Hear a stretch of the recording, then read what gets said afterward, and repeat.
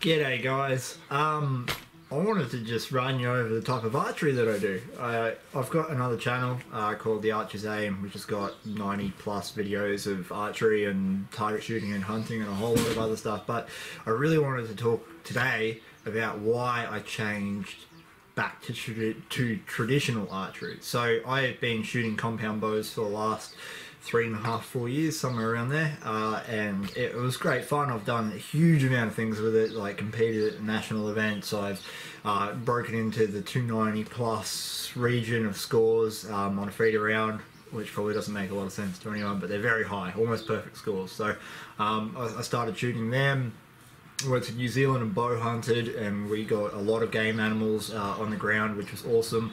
Uh, and look, we've uh, I've spent a lot of time just chasing the absolute perfection of archery, um, and I, I, didn't quite get as high as what I'd like to have, but I'd had enough by the stage. By the time I got to where I was, I just had enough um, of the wheels of the compound bow shooting uh, and the style of hunting and whatnot. It's almost like a rifle. You can step out to 60 meters and still take shots on game animals.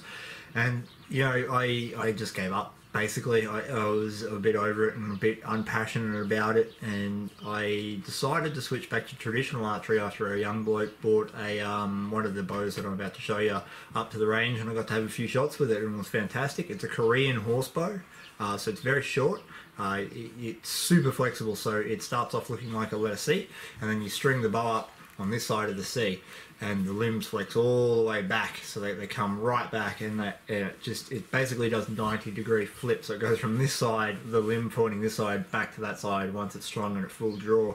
Um, and this is it. This is the um, the little bow, so it's absolutely titsy that. That it weighs only around 300 grams, so it's very light, but it pulls 40 pounds of draw weight. Um, and it's a grouse little fun bow uh, to shoot. And I'm just getting back into instinctive archery, so that's why I got the glove on, uh, which is just staring at what you want to hit and shooting at it and hitting it. It's like throwing a rock. So you don't think about, you don't aim when you throw a rock, you just throw it and it will go somewhere near you what you intended to hit. And that's the same principle using one of these bows. I'm also using these arrows. These are, they look like wood. Check this out. They look like wood, but it's actually made from carbon fiber uh, by a company called Carbon Express. Um, and these are, well, I'll flip it around so you can read it. Carbon Express Heritage Series. Uh, got nice shield cut feathers on the end of them, black and white, because I like to keep it simple. Um, and I'm just going to do a bit of training today. Uh, really close, about eight meters, eight meters shooting, um, just for a bit of fun. And yeah, that, that's really it. I, I just like traditional archery. Again, it, it's so much more captivating to me now than what compound bows uh, were there at the end, and I'm I'm looking forward to taking this bow on some backpack hunts. Uh, so getting my kit and just hiking up into the bush, you know, 10 k's in, and going and looking for rabbits and foxes and maybe maybe deer if I'm lucky. Um, yeah, all right. Better get some sort of shooting done, hey, so you can at least see this thing work.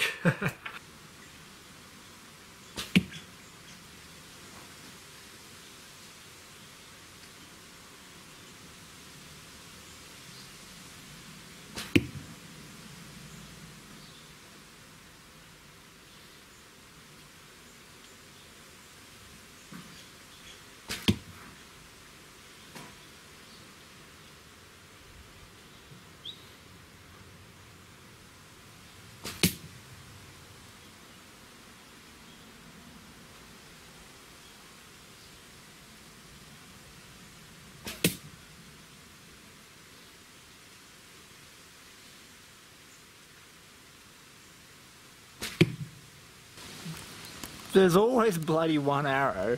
Look, nice tight group. We got one, two, three, four, five arrows just there, there, and then this guy out here doing whatever he wants. I, you gotta hate that. There's always. Come on.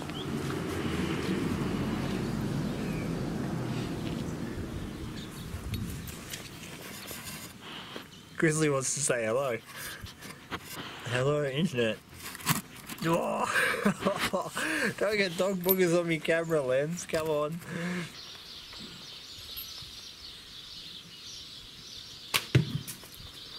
Too bad I didn't help with a shot though. That's terrible. Stay there.